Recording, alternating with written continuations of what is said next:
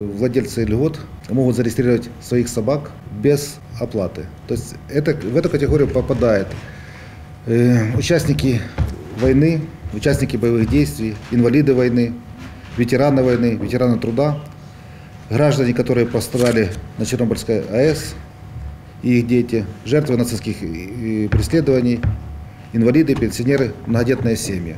Для полной регистрации в городской базе это необходимо получить чип и жетон, и зарегистрироваться, получить карточку регистрации животного в городской базе. Это абсолютно безболезненно для животного, и ничего после этого э, за животным не нужно ни наблюдать, ничего, то есть сделали и забыли.